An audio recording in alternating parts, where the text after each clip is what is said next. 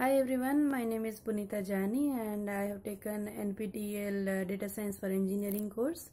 I already had uh, 6 plus years of experience at that time and uh, I wanted to learn beginning of the data science concepts and everything. I already had an experience in uh, data analytics field so I wanted to learn a bit about data science as well and this course really helped a lot to learn the concepts from basics. I didn't know anything about data science at that time and after two months of the course uh, get we, we used to get all the lectures uh, every day.